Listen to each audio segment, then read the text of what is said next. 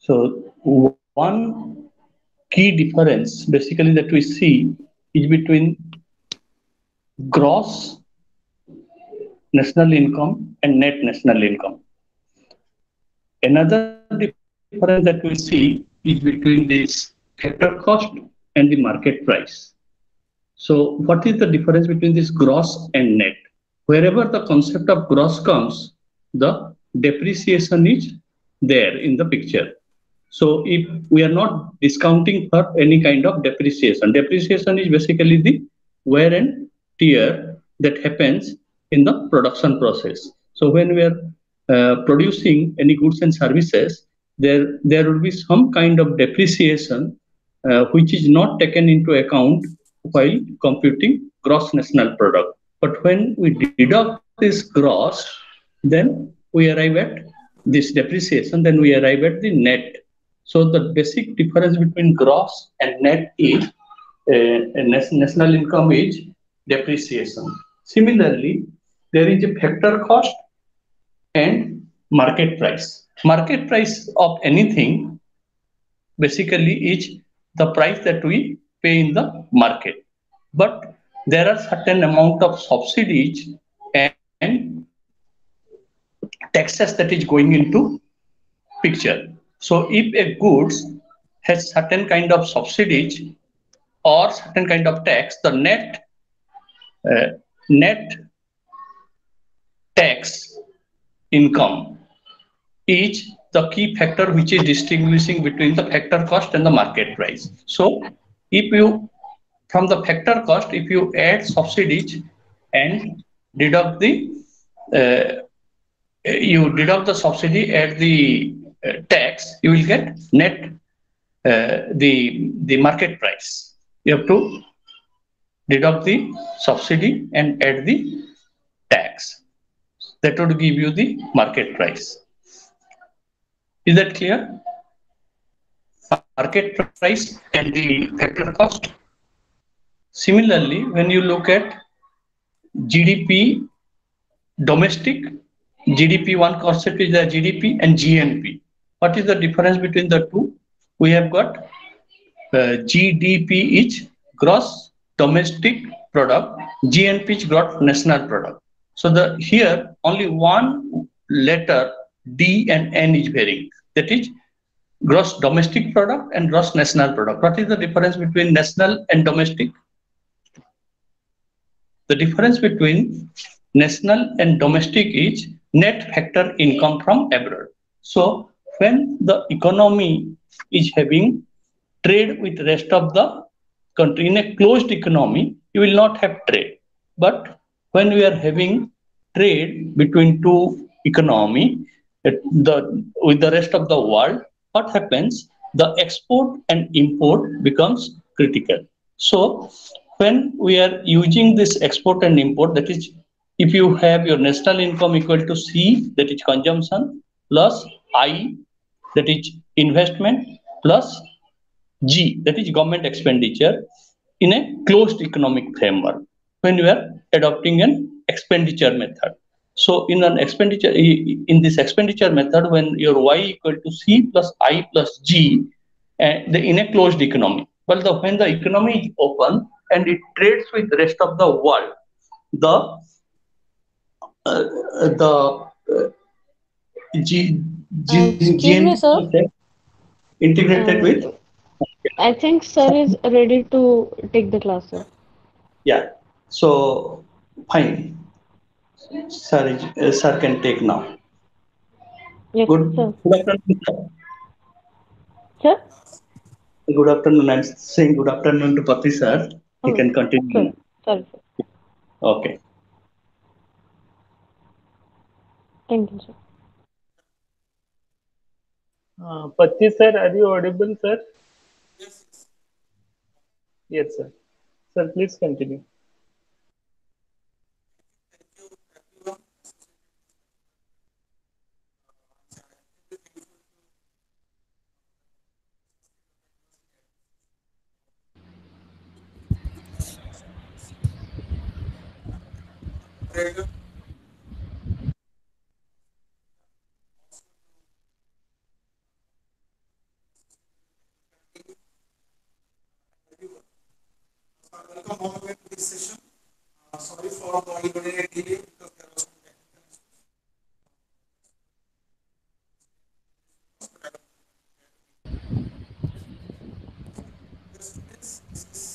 So your voice is not audible, sir.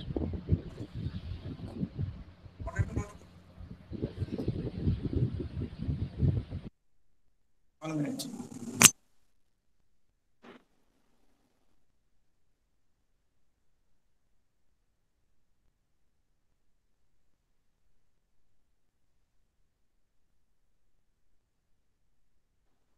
Still some problem?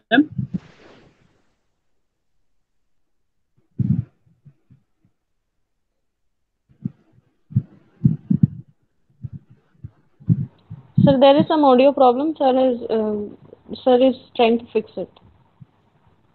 Okay. So shall I continue what I was talking about? Yeah. So um, we're talking about the measurement Hello? of national. Yeah. Hello. Hello, Yes, sir. Audible? Yes. Yes, sir. Now is it is clear, sir. Yes, sir. Now it's That is clear? audible, sir. Yes, sir. Yeah.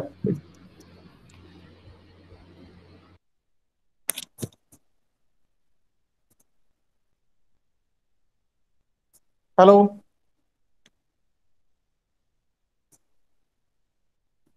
hello, Hello. Yes, sir. you can hear me? Yes, sir. It is audible. Okay. Sir, it is uh, clearly audible, sir. Okay, thank you very much. Uh, sorry for the delay because of the technical issues. Now, right now, we'll start the proceeding. Uh, this is uh, for the students of undergraduate level. So I will try my best to make it as simple as possible for you to understand. Uh, this is about your macroeconomic basic concepts in macroeconomics. So before discussing the details of uh, the concepts that uh, we are supposed to teach, uh, I'm supposed to teach today, uh, let me tell you about the difference between microeconomics and macroeconomics. It is a very simple thing to understand. Now, when you talk about uh, economics, we generally make a distinction between the microeconomics and the macroeconomics. Now, whether you talk it, uh, see it from the layman's point of view or, or purely economic framework, uh, we can make a classification in, in terms of micro and macro. Now, this was first time it was done in 1933 by uh, uh, by one Swedish economist. Now, how, how this distinction is made? It's very simple. Uh, suppose we, we have a big plant. Uh, let me take an example like this. Suppose we have a big plant, and this plant is having a number of branches. A big plant, big tree is there, and this tree is having a number of branches. Each branch is having sub branches and in each sub branch you will find a number of leaves. A number of leaves.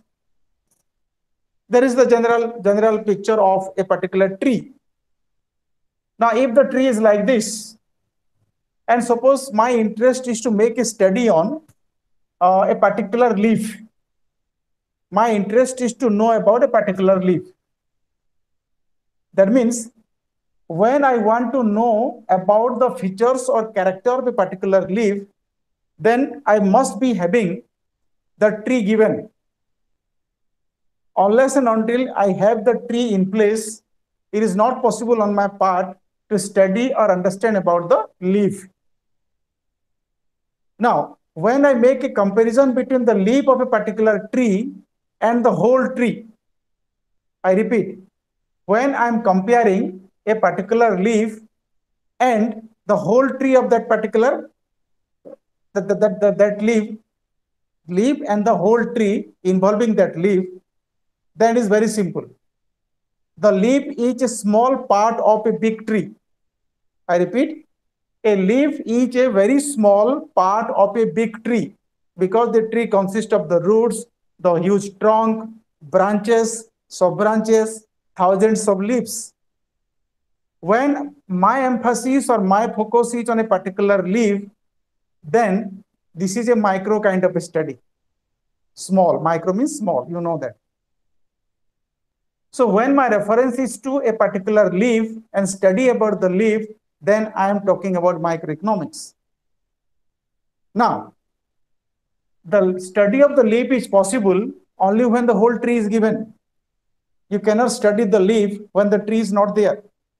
Therefore, when the study of leaf is there, we presuppose that the tree is there. That means without the presence of the tree, the leaf has no meaning. And when I talk about the entire tree, the whole tree, the tree is nothing but a combination of the leaves, branches, sub-branches, trunk, and all the roots, network of roots. That is called the macro, whole lot, whole lot. So macro means big. So if we confine our analysis to a particular tree, then the study of the whole tree, the entire tree consisting of all the branches, sub branches, everything, then there is a macro study, macro study. When a part is studied, we select only a part, maybe a leaf or maybe a single sub branch or maybe a single branch or maybe only roots or maybe only trunk. In that case, that is called a micro study. So th that is how we can make a distinction between micro and macro. In economics also, when our point of reference to each, to a particular unit, to an individual, to a single market, to a particular phenomenon, to a single event, in that case, it is called microeconomic study.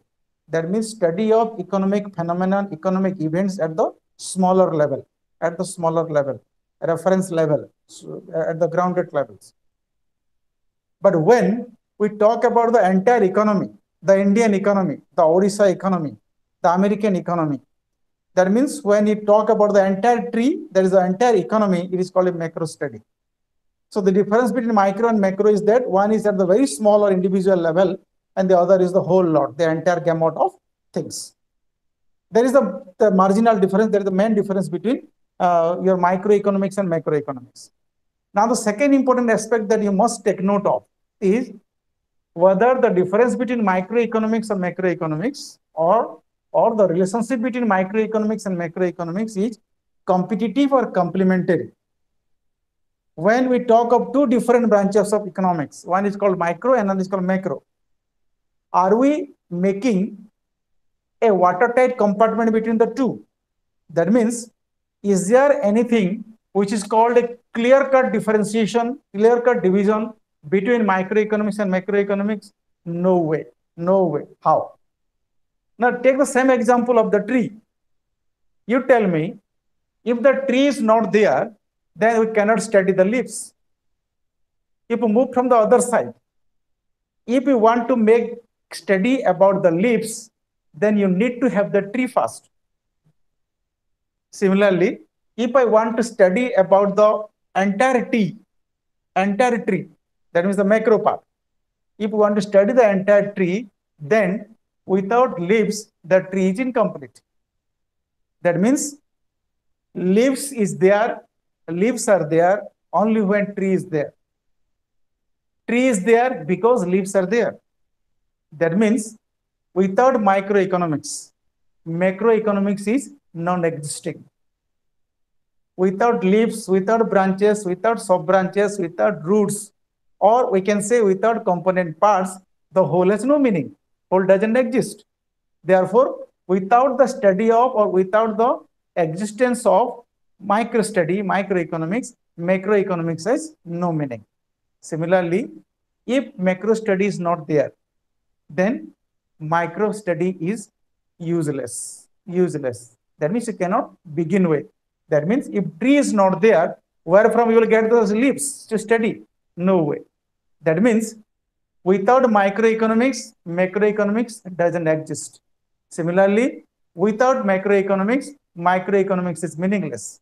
Therefore, microeconomics and macroeconomics are interconnected, interdependent, and complementary to each other. I repeat, microeconomics and macroeconomics, they are not competitive. One cannot replace the other. It is not something kind of this or that, either or, or kind of a thing. No, it is clearly micro and macroeconomics, not micro or macroeconomics. Both micro and macroeconomics are interconnected, interrelated in nature. We cannot study one keeping the other outside the purview. It's not possible. Therefore, the one thing must you, you remember that microeconomics and macroeconomics are complementary in, in nature. We have to study it jointly. Having said that, if we say that both are interconnected, one without the other is, you cannot, cannot imagine one without the other. Then in that case, what are the micro concepts which are necessary to be understood before we move over to the macro concepts? That is basically given in the first unit, that is the first chapter of your this block, the block that is assigned to me today. The first unit, 1.2, now it talks about if you are having your books with you, the study material, then the first thing is written is preliminary economic vocabulary. I repeat, it is called preliminary, preliminary, only elementary level, preliminary economic vocabulary. That means it is about some words, some basic concepts of economics that we must understand. Now, why it is important? Why to understand these economic concepts? Because when I said microeconomics and macroeconomics are interdependent and interconnected, and today we are talking about macroeconomics. I'm teaching you or we are studying macroeconomics. Therefore, if I'm talking about the entire tree today, macroeconomics, if I'm talking about the entire tree today, I must make you understand what are the component parts of this tree. What is called a leaf, how it's a branch, what are the features of those branches, sub branches, how do roots behave, what role the, the, the trunk plays, Therefore, if I am starting your macroeconomics paper today, if I am talking about the macroeconomics paper today, then I must throw lights on its component parts, there is the micro words or micro concepts. So we'll run through these concepts because it is it, these concepts are already part of your micro theory, but uh, we must understand these concepts before we move ahead. Now see, in your book, it is given utility. You must, you must uh, listen to me keeping your book in front, the study material in front, so that it will become easier for you to understand when you uh, open these pages. See, in the first page, page number one, 1.2, the first thing it, it talks about utility. Utility. You know what is utility? Every economic students must know what is utility. In simple sense, utility is the one satisfying power of a commodity. If I'm using a good or a service or anything for my for, for, for my satisfaction, for my uh, my, my, my kind of thing or my use, then that good or that commodity or that uh, service must be having utility. That means in other sense, we can say, if something has no utility, then it cannot satisfy our wants or our desire. If you want to satisfy our want, then we need to have something which must have utility. If I'm using this pen today, then I say that this pen has utility because it is satisfying my want of writing on the board. So that is a utility. Now there are various categories of utility like place utility, how utility changes with place. You have form utility, how through the change in form you can create utility out of a lock, out of a wood you can create utility by, by, by, by, by, by that means uh, manufacturing a table. Through time, we can also measure utility. How through the change in time, we can uh, increase or decrease utility of certain products or services. I can take the case of umbrella. I can take the case of sweaters. So with the help of, with, with, the, with, with, with the difference in time, utility varies. So there are various categories of utilities. For, for economic measurement, what economists have done, have done, they have divided utility into total utility and marginal utility. That means the sum total of utility, you know, out of the consumption of a particular commodity is called sum total utility that you understand. And marginal utility is the utility obtained when you consume the last unit. If I'm consuming three or four units of a particular commodity, then the utility derived from the last unit of the consumption, last consumption unit, that is called the marginal utility at the margin. And you understand the law of diminishing marginal utility. That means when you we have we try to have more and more of a particular commodity or service, a time comes when we need very less and less of those because the intensity of desire declines. The intensity of desire for that particular commodity declines when we have more. That is a common uh, common theory, is a common law, in fact. So more the commodity we have, less desire we have for that particular commodity acquire it further. Therefore, marginal utility declines, and this this this law states that there is diminishing marginal utility. Now, where we are studying marginal utility, total utility, or for that matter, the concept of utility now when dealing with a paper on macroeconomics. That means when I'm talking about dealing with the concepts of macroeconomics, I must not, I cannot lost sight of what the microeconomics has taught us. Microeconomic concepts cannot be cannot, cannot be left aside while dealing with concepts of macroeconomic. That is basically basically the reasons that were that's why this part is given in your syllabus or in your study material. That means whatever principles are applied to microeconomics, those principles are also applied to micro macroeconomics. But you must understand this is not an added whole. 1 plus 1 plus 1 plus 1 plus 1 is not equal to 5 always. Mathematically, that is proof. That is, that is true. 1 plus 1 plus 1. 3, 1 means 3. Mathematically true. But here it is not, not, not true. Leaves plus sub branches plus branches plus trunk plus the roots. This will give you a tree. No way. No way. Because leaf has different characteristics. Branches and sub branches have different features. Trunk has a different role to play. The roots are altogether different as compared to the outer parts. Therefore, you cannot just add all these things and say that, no, I'm studying macroeconomics. No way. No way. That's why at the beginning I said, microeconomics and macroeconomics are complementary. They are related and interdependent, close, closely related to each other. One without the other is meaningless, doesn't exist.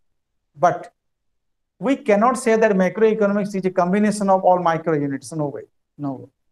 That's why we make study of micro concepts first, understand what the micro behavior is all about, then generalize those behaviors to the macro scale. That means if I am determining price in a market, suppose the price of potato we are talking about in Sambalpur market. The price of potato in Sambalpur market may be a micro, micro study. But when I talk about the price level, the average price of potato in the Indian market, in the entire Indian economy, then that is a case of macro study. We are talking about the whole, the entire. And therefore, you cannot just add this market plus this market plus this market plus there is no, you, you cannot do that. That is basically what you are going to do today. So therefore, it is a form of generalization, but not the addition of micro concepts to get the macro one. That's why these concepts are given here. Now, the second important thing that is given is value. A value. Now, what is value? We are using certain products or certain services because those products and services, they carry value valueless, useless things are not used for any satisfaction of any wants. Therefore, value is involved, values is intrinsic to certain things. Now, there are broadly two categories of values. One is called the use value, the second one is called exchange value. Use value and exchange value. There are certain products which have maximum use value, but maybe zero or very limited exchange value. You can take the take, take the case of water running on the Mahanadi. Water running on the Mahanadi.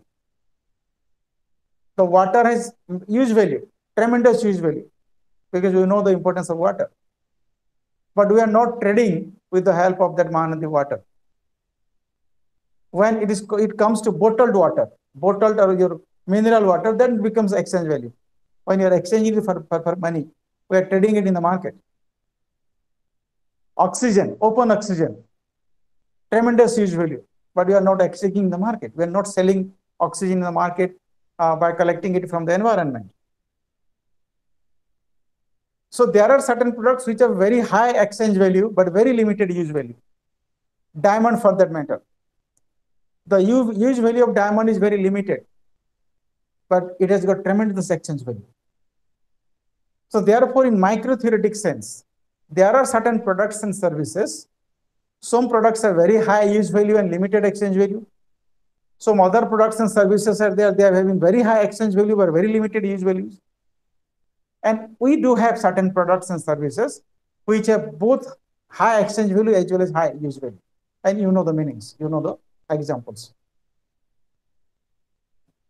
So these values, usually exchange values, these are also applicable to macro theories. We can also see these concepts in macro theoretic sense. Then the third concept is talks about wealth. Wealth. You know what wealth is. You must have done during your plus two. Some some some of you might have uh, studied uh, plus two economics. The basic things about wealth is that if certain things have properties like marketability, transferability, and utility. The first thing is that wealth must be having utility. That's why it is called wealth. If it is having no utility or use value or exchange value, then it, it cannot be called wealth. So it must have utility. Then wealth must have transferability. You must be in a position capable of transferring wealth from your, your, your pocket to somebody else's pocket, from one generation to the next generation, from one part of the country to another part of the country. That must be transferable. It must also be marketable. Marketability must be there. So that's why we generate wealth. And wealth comes in different forms. We'll see that in the later on. So now, now for example, I can say we have physical wealth. We have physical wealth, like all the infrastructural parts, hard infrastructural parts, physical wealth. Like for example, a car, a building, a cooler, an AC, a board. These are all physical wealth. They are in physical forms.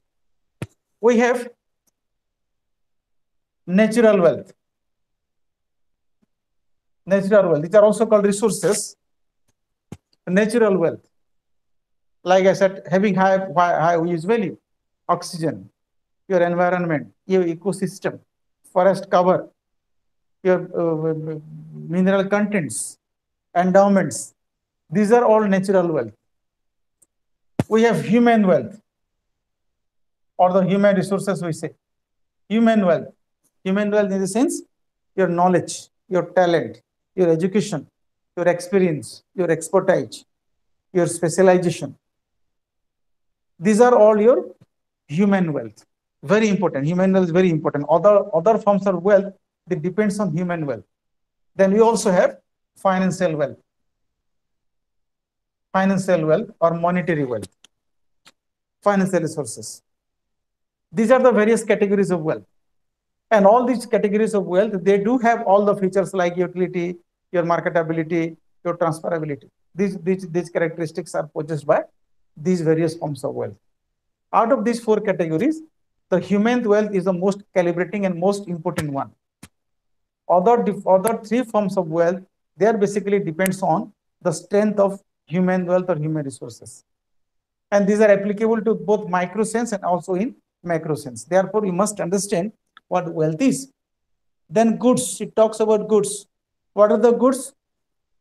Goods are things or products which satisfy human wants or which do possess utility.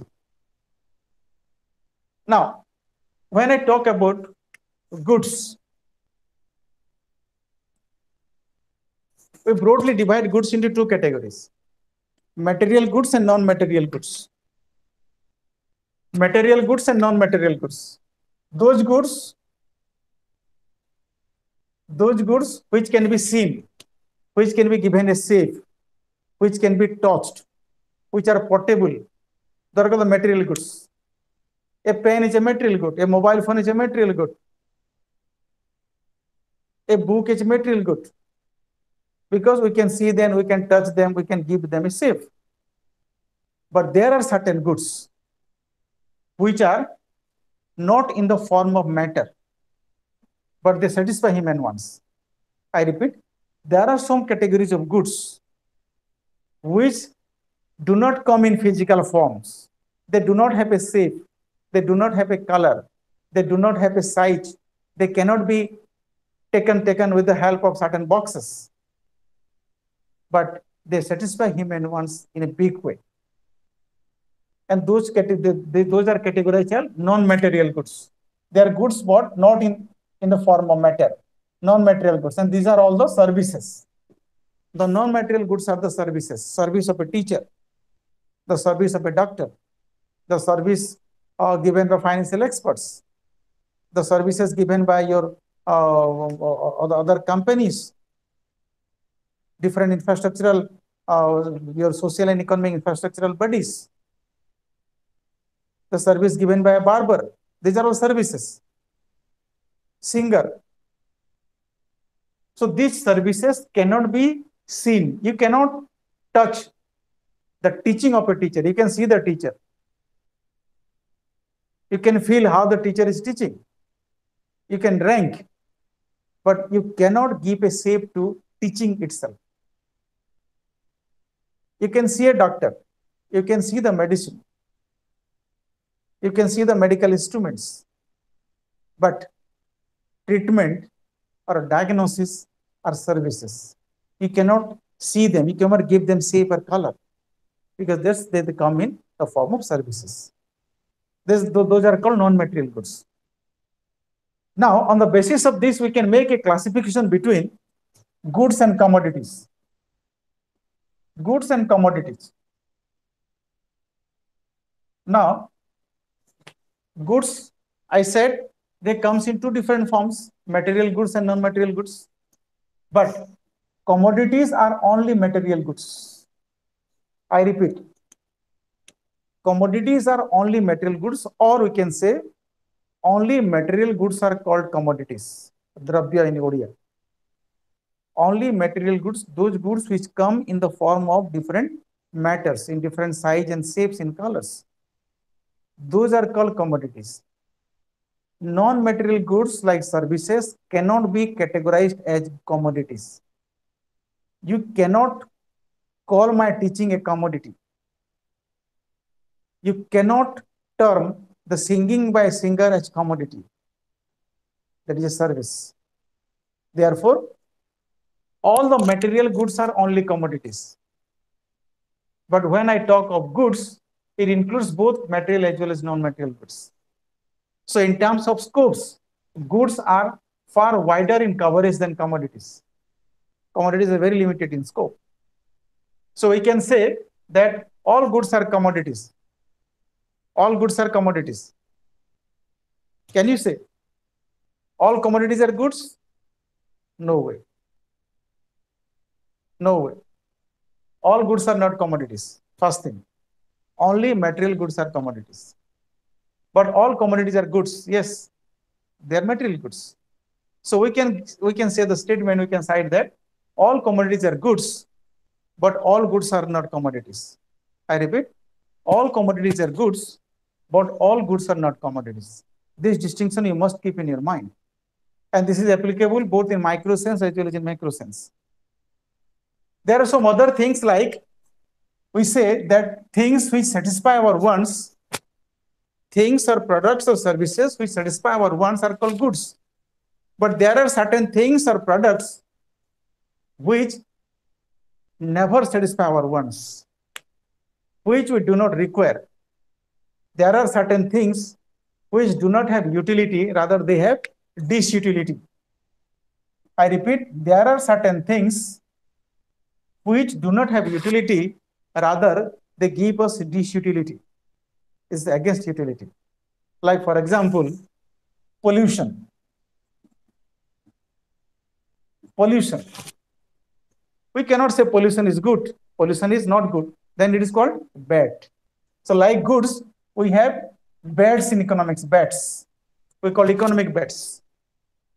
Like in English, we say good and bad. Similarly, we have certain economic bads. Then that means pollution is an economic bad. Mosquito bite. Nobody likes a mosquito biting you. Mosquito bite. We cannot categorize the economic goods, it's economic bads. For example, sewerage. Sewerage. economic bads. Stinking garbage, economic bads. So like goods, we do have economic bads. Similarly, we have goods and commodities.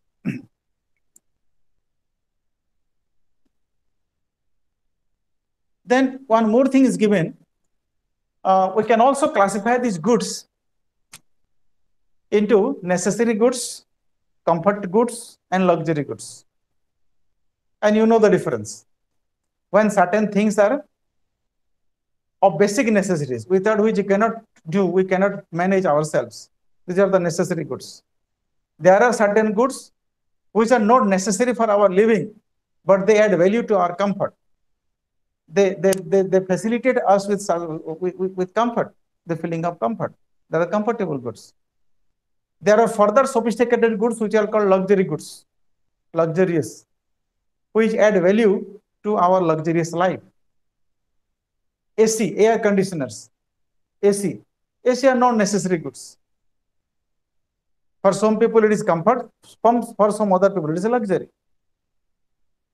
But the definition or the distinction between this necessary comforts and luxury depends on situation. It depends on the type of society we are living in. It depends on the climatic condition. It depends on the surrounding we are living with. It varies from person to person also. So we can also classify goods and services in terms of necessary luxuries and comforts also.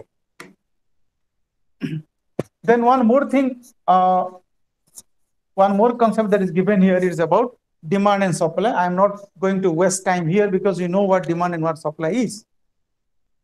You know the demand, law of demand, you must have studied. You must, must have gone through. That means there is an inverse relationship between demand and price. And you know the assumption that is called ceteris paribus. That is also given in your ceteris paribus. That means other things remaining constant. When you take certain assumptions, I'll discuss why you take assumptions in, in case of the normative economics. When you take certain assumptions, we say ceteris paribus, that means other things remaining constant, price and demand are inversely related. There is the law of demand, the Marshallian law of demand. It says only when we keep certain things as constant, unchanged, like income of the consumer is unchanged. The price of related goods like substitutes and complements remaining unchanged. The size of population in the family is unchanged. The distribution of income is unchanged. There is no change in the taste and preference of the consumer. Income distribution, or if all these other factors are remaining constant, because these are other determinants of demand. If we keep all these things constant, then only we can say that price and quantity demand are inversely related. High the price, low the demand, low the price, high the demand. You know that. And therefore, the demand curve is downward sloping. And the just opposite happens in case of the law of supply. Because the producers are on the, on the, on the opposite side, side of the market. Higher the price, higher the supply, low the price, low the supply.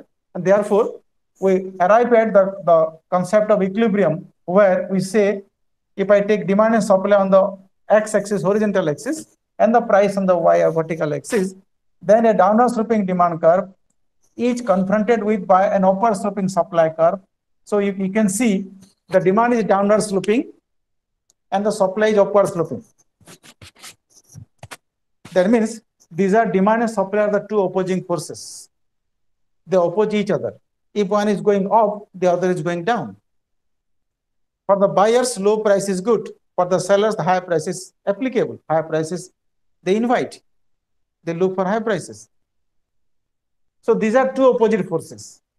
When two opposite forces, they come to a particular point of equality or the state of balance between two opposite forces. See, here at only one point, the two opposite forces are meeting. And this is called the point of equilibrium. This is the point of equilibrium. Equilibrium means it is state of balance. This is the point of balance. Here, demand is equal to supply.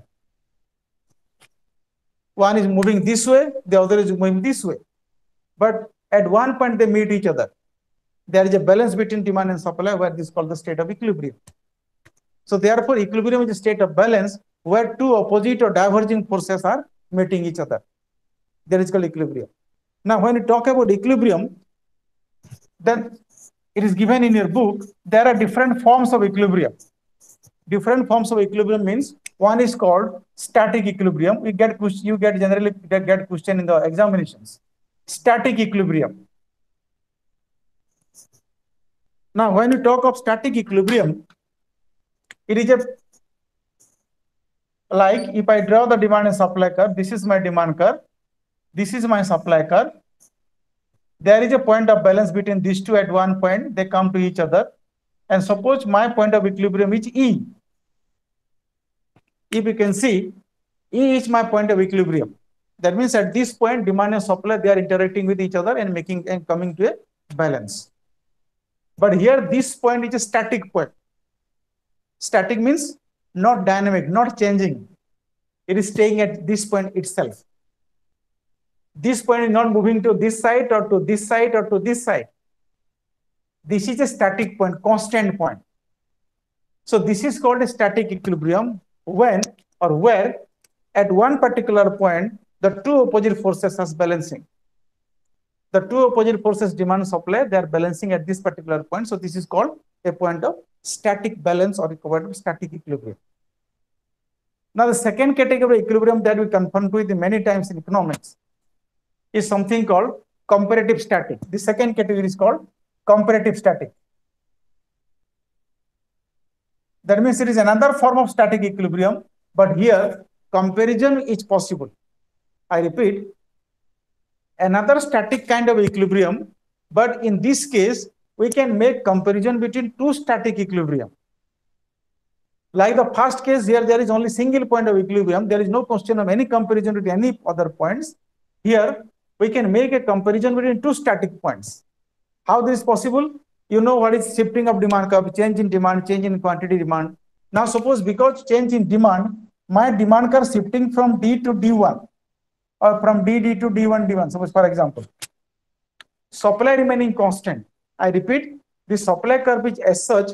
Now, suppose my demand curve is shifting and this is my new equilibrium point where the old supply curve is balancing with the new demand curve. Now the new demand curve D1, D1 is intersecting the my old supply curve. Now this is my new equilibrium point. Suppose I give this as E1. With respect to this new equilibrium point, I have higher prices as well as, more demand and supply. Now the question is, I can say this E1 point is better than the previous E point. I repeat, the point E1 is a new static equilibrium. Like the previous one, here also we are getting equilibrium. The new static equilibrium is better than the previous static equilibrium because now I am in a position to make a comparison with respect to the price change as well as demand and supply change.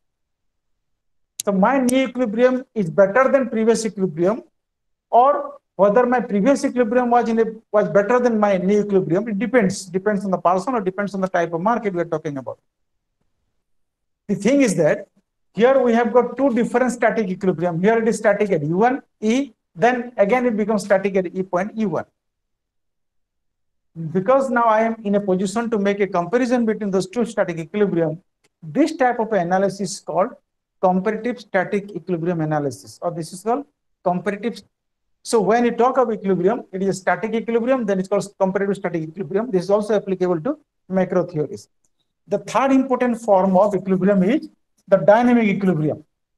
Dynamic equilibrium, which is ever changing in nature. The third category is dynamic equilibrium. Now, the dynamic equilibrium is a different kind of equilibrium. That means, now suppose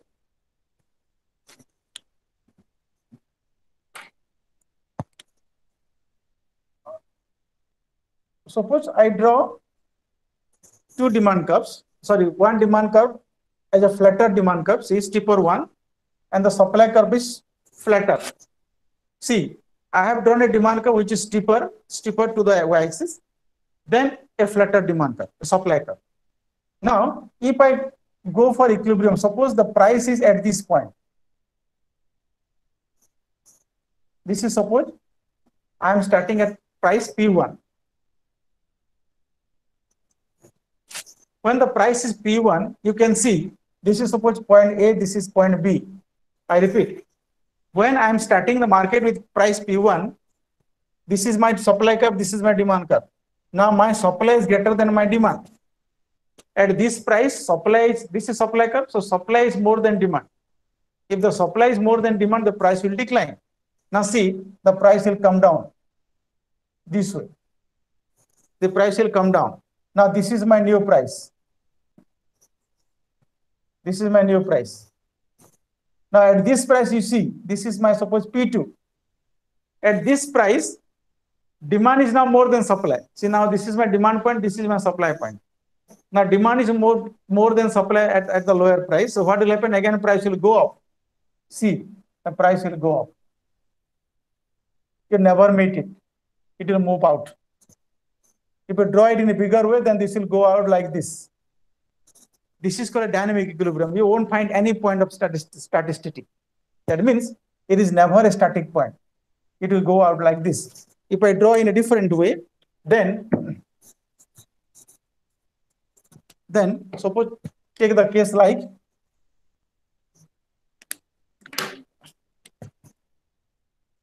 if I take the case like this,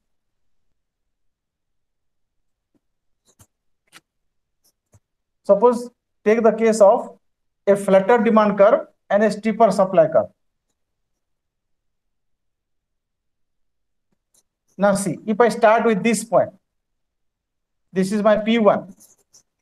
At P1 price, my supply is more than my demand. This is my demand curve, supply curve. So again, price will come down. See, price will come down to this level. This is P2. At P2, my demand is more than supply. See the gap. If the demand is more than supply, price will go up. This will move up. Now this is my price. This is P3. At P3, again supply is more than demand, like this. Again price will go down. This will, it will move to the center point. Center point. That means it start at a wider level and converges to the central point. And that is called a dynamic equilibrium. But at the end, it becomes a stable equilibrium. So this is called dynamic equilibrium with stability condition or it's called dynamic stability. It's called dynamic stability. This is applicable in, in economic in the macro also. This is called dynamic stability. And the first case I told in the previous case, that is called dynamic instability because in that case, it is diverging out. That is called centrifugal force. This is called centripetal force. That means it is moving inside centripetal force. This is called dynamic stability. And the previous part is called, the previous diagram is called dynamic instability. Dynamic instability. So some, sometimes you get three different categories of equilibrium. Static equilibrium, comparative static equilibrium, dynamic equilibrium, where the dynamic equilibrium can take two different forms. One is called dynamic stability, where there is centripetal force operating, and there is dynamic instability, where centrifugal force operating, and the taking the system outside is called explosive condition, explosive condition. And these are applicable in case of your trade cycle theories in a macro concept uh, that, that, that, that later on uh, your teachers will teach you. So th this is how we can make a distinction as regards different types of equilibrium and uh, disequilibrium point. then we'll move to uh, something called the difference between uh, consumption and investment. Consumption and investment, then I'll uh, move to your national income part, which you must understand in detail. Uh, suppose this is my income. Why? In economics, we uh, represent income by the alphabet Y. Suppose Y is my income. Now, this income is used from an individual point of view, from my point of view. Either use, I use my income for consumption, I can write as C, or the rest of the income I go for saving, S. That means as an individual, my job is to use my income, Y, for consumption plus saving. Suppose my income is 100 rupees. I repeat, suppose my income is 100 rupees. I am consuming suppose 90 rupees worth of goods and commodities. 90 rupees I am spending for my consumption purposes of my family. Then How, how much I'm saving? 10 rupees. So 90 plus 10 equal to 100. So this 10 will go as saving. Then this saving that we generate, the saving that, that is mobilized, channelized from this household sector. How this is called household sector? Families, we are family people. So whatever income we are saving, because saving is called, if I write like this, suppose I take y minus c, I take the c to the left hand side. y minus c, now this is equal to s. That means what is saving? Saving is that part of income which is not consumed. I repeat, saving is that part of income which is not consumed. So y minus c equal to s. That means suppose whatever income I am getting, I am consuming everything. So y minus c equal to zero, there is no saving. 100 is my income and 100 rupees I am spending every day, like the very low income group people they do. They don't have additional saving. So if the income is more than my consumption, then there is positive saving. If my consumption is more than my income, some people do like this.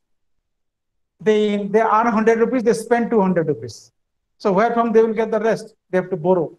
They have to borrow. That is called negative saving or dis-saving. Dis-saving. Either they draw from their previous saving or they borrow from other such loans. Therefore, y minus c is, will define your saving. So it is that part of income which is not consumed. Now the next important part is what happens to this saving?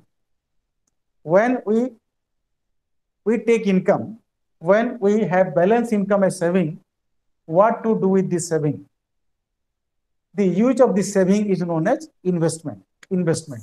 The people who make use of saving for productive returns, the use of saving for positive or productive returns is called investment.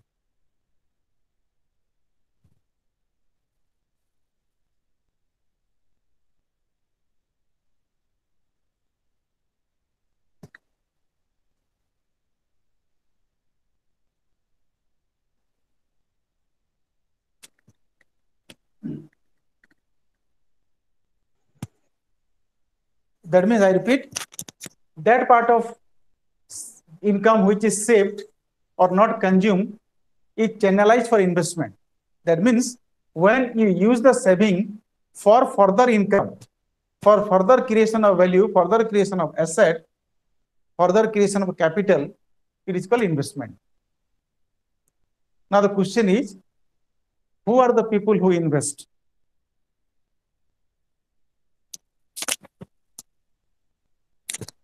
Who are the people who invest? Now we take the other sector. One is called the household sector, who are saving out of their income. They are the industrial sector, or we can call the farms. Farms. Farms are the industrial sector, the corporate sector. They make investments. That means whatever saving generated or channelized by the household sector is being channelized or mobilized as investment by the farm sector. That means like y equal to c plus s in case of the household sector, we have y equal to c plus i. y equal to c plus i for the farm sector. The farm sector people, the industrial sector people, they spend or they use their saving generated or channelized from the household sector as investment. Therefore, whatever income these people have Y, this consisted of C plus I, consumption plus investment. That means if I take both this Y equal to C plus S by the household sector, Y equal to C plus I consumption plus investment by the farm sector, then what I can do, saving equal to investment. Because in this case, Y minus C equal to S, in this case, Y minus C equal to I. So ultimately saving must be equal to investment. This is a different analysis altogether, but you must understand the difference between this consumption, saving, and then investment. now, having said that, we'll move to another part uh, of macroeconomic theory where we'll make use of all these concepts in a different manner. Uh, now, in your page number uh, three, you can find economy as a system of circular flow. Page number four, this is called page number four and page number five. Uh, you can see uh, there is something called a system approach. System approach. Now, what is the system approach here? And how we fix the system approach to a scheme under the macroeconomic theory. I repeat. Now, what is a system? Before we understand the system, we need to understand what a structure is. I repeat, before you understand a system, we must try to understand what a structure is. Now, suppose if I am if this is a man, if this is a man, then this man, whatever you find in a man, is a human body structure. If you see a man, you'll find a human body structure. Now, what the human body structure talks about? It talks about a head, two eyes, two ears, a nose, then your body, then two hands, two legs, like this a human body structure represents different features. A human body structure represents different features. And now see, if this is the human body structure, then leave aside other things. Leave aside other things. Suppose we only talk about hands. If somebody shows you my hands, only this part of my hand, in my absence, you cannot recognize that this hand belongs to this man. No way. I repeat, this hand is meaningful only when it is attached to my whole body. If it if you take out my eyes and throw it to an open field and ask somebody to identify whose eyes those are, nobody can identify that these eyes belong to this man. That means these eyes have meaning only when they are attached to my body structure. My hands, my fingers, my nose, my ears, they have their own meaning provided they are attached to the body structure. Therefore, the first and foremost thing is to understand about the structure.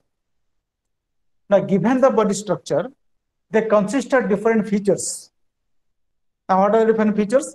Head, eyes, your uh, body, your hands, your legs. These are all features. And all these features are interconnected to define the entire whole body structure. That means what I am trying to say is that the whole body structure is my macro. That is my macroeconomics. And this macroeconomic consists of small and small features. Hands, legs, fingers, stomach, eyes, neck, neck. These are all small features. And all these small features have been fitted together to create the whole structure. And these small features are my micro study. Like as I told, like the branches, sub branches and leaves, etc. Now the question is, where do we feed the system? System. As I told, the entire body structure consists of different interrelated features. I repeat, because if the hands are not linked to other parts of the body, you cannot use the hands. If brain is not connected to other parts, useless. If the heart is not pumping to the entire body, then the, the structure is useless. Therefore, all the interrelated features create the structure. But these interrelated features are being operationalized. That means those things which have interconnected all these independent features are called the systems. That means we can create a structure with the help of independent features. And all the independent features are joined together by something called a system. System. Like nervous system, endocrine system, your uh, biological system, reproductive system, your heart system, lungs and everything. So there are a number of systems which are working in coordination with each other to operationalize or functionalize the to make the entire structure function. Therefore, each structure is having different features and each features are interconnected through different systems. So there are a number of systems inside of a, a particular body, human body. All the systems they're interconnected. The brain system, your head system, your eye system, your nervous system, your heart system, your all reproductive system. These are all different systems. Now, if I apply this to macroeconomics, if we apply this to macroeconomics, then the entire Indian economy is a structure. The entire Indian economy is a structure. We can also define the structure. What type of structure? We say Indian economy is a developing economy. Indian economy is having a very backward structure. It is a backward economy. Or you can say it is agriculture dominated economy. Or you can say Indian economy is a tradition based economy. Or you can say Indian economy is a progressive economy. Indian economy is a developing economy. That will show you the structure. Now the question is how to define that the Indian economy is backward or we can say the Indian economy is progressive. We can do so only when we have different features to define that. What happens to the occupational structure? What happens to your the, the different sources of income? How much income we are getting from primary sector? How much income we are getting from secondary? How much from tertiary sector? What about our unemployment problem? What about our poverty situation? What about our social sector development? What about our infrastructure bottlenecks? These are all different features. When you knit together all these features, that gives you the structure. But these features are connected and interconnected by the systems. Systems. And that systems is known as the system approach to the macroeconomics, where we can talk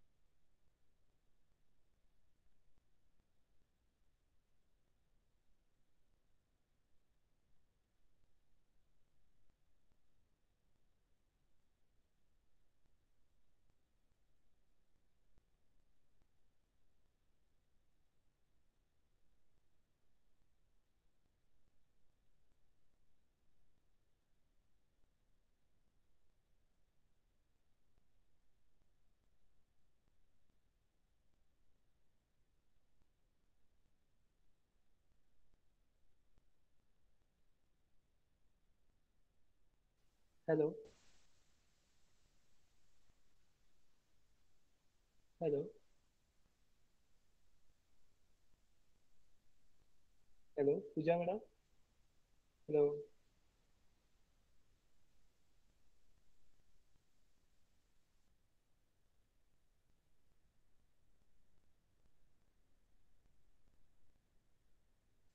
Hello. Ashish sir. Hello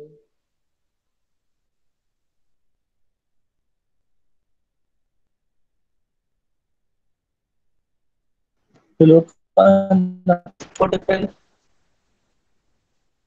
hello hello hello ಕಾಲ sir ಸುನಿ sir ಕೊಟ್ಟಿಗಲ್ಲ sir left ಹೇಗಲ್ಲ sir hello हाँ left के left क्या मेरा question sir you please continue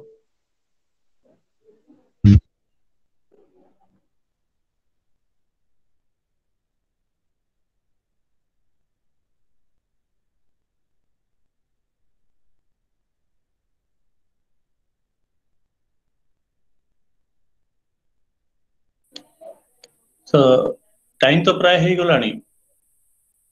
Do they have any questions so far? Yes, sir, we can also invite questions from them if they have any. Question. If they have any questions, they can ask.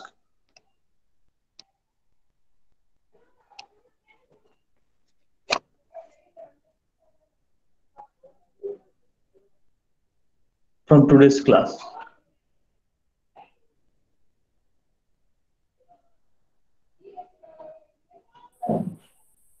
Basically, Sir was discussing about the basic fundamental concepts, the difference between microeconomics and the macroeconomics. Then he also talked about this uh, stock and flow concept. What is stock? What is flow? What is utility? And then what is a goods and how it is different from commodity. He also mentioned that the commodities are a subset of goods. And then the goods, something which is a commodity, is also a good, but things that are goods are may not may or may not be commodities. This is what Sir discussed. Then after that, he switched over to uh, the concept of demand supply equilibrium and then the concept of static comparative static and dynamic so a concept of static that are discussed is basically a one point comparison type of a thing. So at one particular point of time, there is an equilibrium, there is a demand and there is supply. The intersection point at any particular point of time is a static equilibrium. However, when we are talking about a comparative static, we are uh, comparing between two static equilibrium. That means suppose there is a shift in the demand curve or supply curve, then the earlier point and the subsequent point, there is a comparison. Both are again static equilibrium, but when the comparison is made between two static equilibrium, we are uh, in a situation of comparative static. Then after that, the dynamic equilibrium where it is accommodating all the changes. So so I was discussing about the cobweb type of a model where there are the demand curve and supply curve is there. We can start from any point on the demand curve and then how the demand curve is con- converging or diverging from the equilibrium point at the center. This is what basically Sir has discussed in today's class.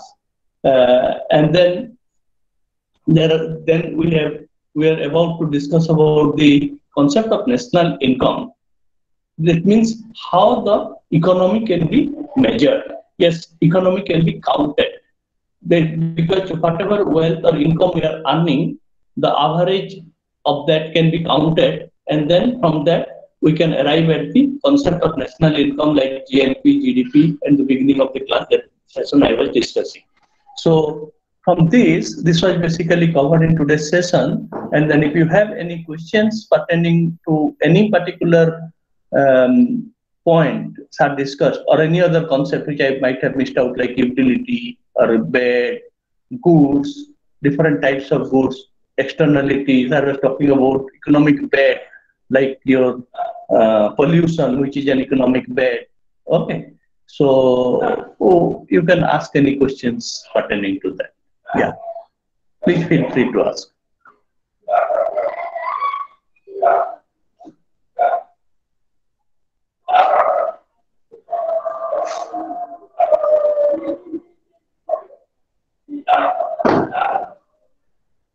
Any question is coming in the chat box?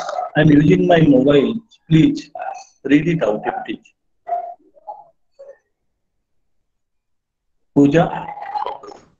Is there any questions? Um, uh, no, sir, not yet. Any question? See, uh, if they are unable to write, they can ask. Since there are less number of students, they can ask also unmute and then ask them to ask. If they are feeling uncomfortable, this is the first class for them. They might be feeling uncomfortable. Yes, yeah. Yes, sir.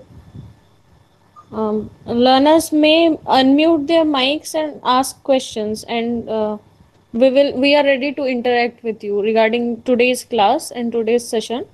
Any question, any difficulty or problem they are facing, they may ask questions.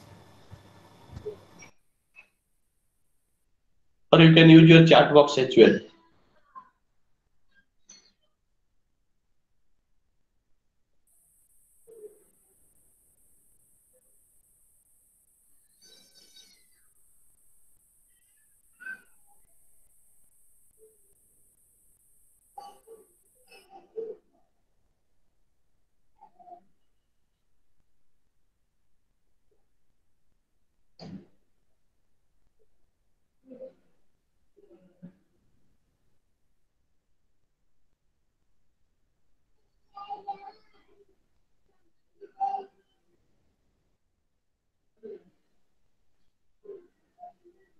Nothing.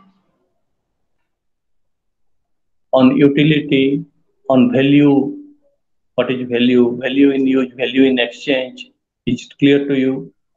Then micro macro difference, then static, comparative static, dynamic, equilibrium.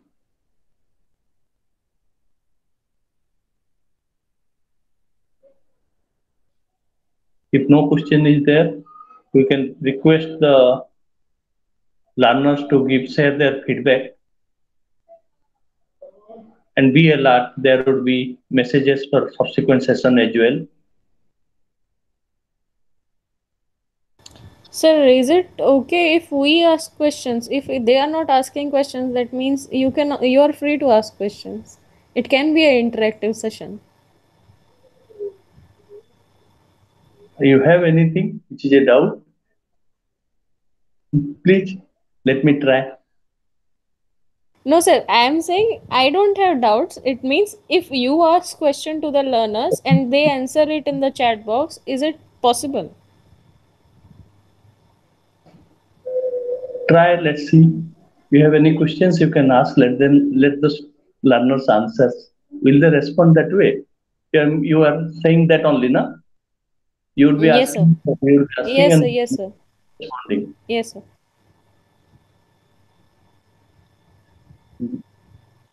if there is no Sir, you may start. no You no, may if- start.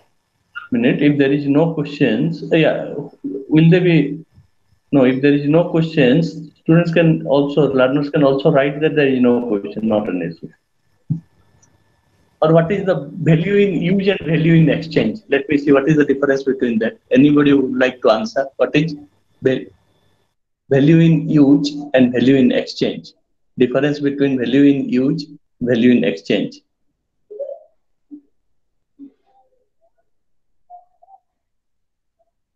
Can you type it down, madam? I'm using a smaller scheme. Value in use and value in exchange. Value in use and value in exchange. This is discussed in today's class, correct? Yes, sir. Sir has discussed this thing. Value in use and value in exchange. This is one concept that can anyone.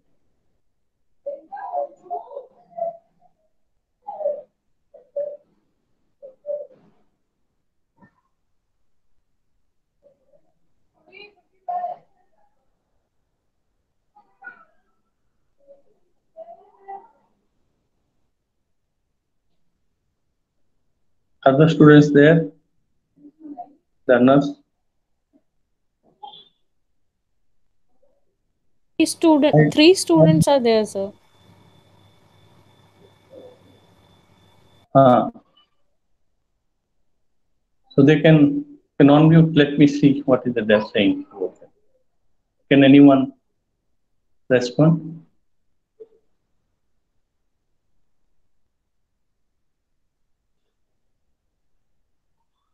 What do they mean by other things remaining constant?